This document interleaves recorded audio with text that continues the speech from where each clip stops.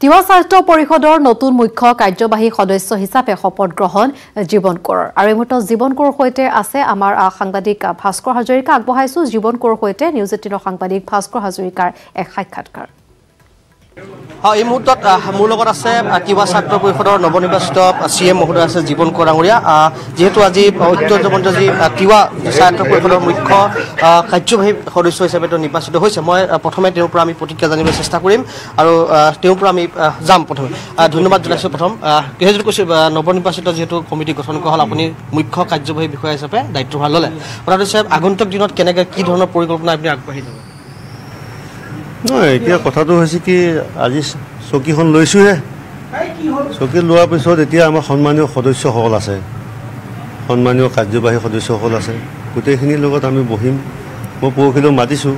পৰহিলেও মতাৰ পিছত আমি গোটেইখিনিয়ে সমষ্টি উন্নয়নৰ কাৰণে যিহেতুকে সকলো ৰাইজে একোজন সদস্য হিচাপে জয়ী কৰি পঠাইছে। গতিকে মোৰ পৰিকল্পনা হ'ল প্ৰতিটো সমষ্টিয়ে যেন সমভাৱে উন্নয়ন হয়। যিহেতুকে এই তিৱা স্বায়ত্ব নামটোহে তিৱা পৰিষদৰ নামটো হ'লেও কিন্তু ইয়াত বসবাস কৰা বিভিন্ন জাতি জনগোষ্ঠীয়ে সমৃদ্ধ হৈ আছে আমাৰ তিৱা স্বায়ত্ব পৰিষদ। গতিকে মোৰ মোৰ পৰিকল্পনা হ'ল যে প্ৰতিটো সমষ্টিৰ সম উন্নয়ন আৰু সম বিকাশ হ'ব বিকাশ হ'ব লাগে। কিন্তু পূৰ্ব যিখন আছিলে কমিটি তাত যথেষ্ট সেইখিনি কথা আচলতে বিশ্লেষণ মই নকৰোঁ। মই কি কৰিম সেইখিনিৰ ওপৰতহে মই মানে কম আজি কথাখিনি মই তেতিয়াহে ক'ম। আগত কি কৰিছিলে কোন চি এমে কি কৰিছিলে কি হোৱা নাছিল কেনেকুৱা ধৰণৰ কাউন্সিল চলিছিল সেইবিলাক কথা মই আচলতে বিশ্লেষণ নকৰোঁ। মোৰ কথা হ'ল মই কি কৰিব বিচাৰিছোঁ সেইখিনি পিছত আপোনালোকে গম পাব।